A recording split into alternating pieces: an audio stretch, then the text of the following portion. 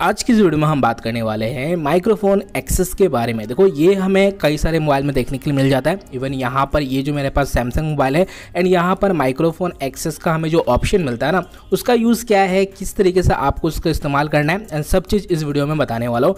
देखो, ये आपको मिलता कहाँ पर? देखो, ये आपको इसे ऐड करना पड़ता है। ऐड करने के लिए ऊपर थ्री डॉट मिलता है ना, इसमें जाना एडिट बटन में जाना।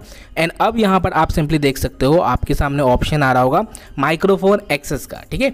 तो इसे आप आपको यहाँ पर सिंपली ला लेना है। अब देखो, ये बहुत ही कमाल का सेटिंग हमें यहाँ पर मिलता है, जिससे आप बहुत ही अच्छे तरीके से अपने मोबाइल को मैनेज कर सकते हो। इवन आप प्राइवेसी सेटिंग कर सकते हो। तो शॉर्ट में यहाँ पर मैं आपको बता देना चाहता हूँ कि माइक्रोफोन एक्सेस यहाँ पर काम क्या करता है। देखो, कई बार आपने नोटिस किया होगा ना, कई सारे दोस्तों से अगर आप बात वगैरह कर रहे हो किसी जूते वगैरह या किसी कपड़े की या किसी भी प्रोडक्ट के बारे में आप बात कर रहे हो ना तो वो प्रोडक्ट का एड आपको फेसबुक में देखने के लिए मिल जाता है या फिर आप इंस्टाग्राम में देखने के लिए मिल जाता है। कई सारी जगह पर आपको उसका एड देखने के लिए मिल जाता है। लेकिन आप सोच रहे होंगे, इसके बारे में मैंने सोचा था या फिर सर्च कर रहे होंगे तो वो चीज़ आपको देखने के लिए मिल जाता है। तो यहाँ पर देखो, आपका फ़ोन आपका बात सुनता है। जी हाँ सही सुना आपने। तो ये सुनता है किस किस तरीके से? तो यहाँ पर देखो, जब माइक्रोफोन एक्सेस आप ऑन करके रखते हो ना तो यहाँ पर आप जो भी कुछ बात वगैरह कर रहे हो बैकग्राउंड में आपका फ़ोन यहाँ पर आपका सारा बातें सुनता है।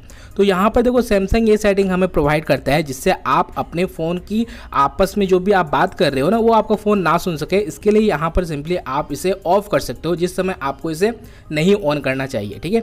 यहाँ पर देखो, जैसे ये वाला ऑप्शन हमें मिल रहा है ना, इसमें अगर हम टैप कर रहे हैं तो यहाँ पर हमें ऑप्शन मिल जाता है टर्न ऑफ़ का।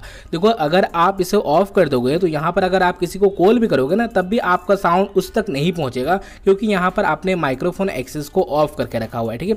ये देखो काफ़ी जगह पर यूज़फुल होता है, अगर आप किसी को फ़ोन करना चाहते हो, या फिर कोई रिकॉर्डिंग वगैरह करना चाहते हो तो उस जगह पर आप माइक्रोफोन एक्सेस को यहाँ पर ऑन कर दे हुए तो उससे यहाँ पर आपका फ़ोन आपका बातें सुन सकता है एंड उस जगह पर आप इसे यूज़ कर सकते हो। देखो, ये प्राइवेसी सेटिंग के लिए काफ़ी ज़्यादा यूज़फुल सेटिंग है। अगर आप चाहते हो कि आपका बात कोई ना सुने तो इसे ऑफ़ कर देना एंड अगर आपको जिस समय सुनाना होगा तो इसे ऑन कर देना। बस ये सिंपल सा सेटिंग है, यहाँ पर माइक्रोफोन एक्सेस का काम।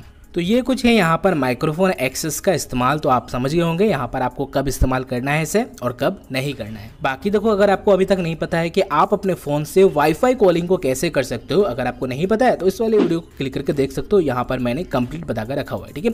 एंड चैनल में हो तो प्लीज़ सब्सक्राइब करके ही जाना, क्योंकि इस तरह की इन्फॉर्मेटिव वीडियोज़ अपलोड होती रहती है। मिलता हूँ नेक्स्ट वीडियो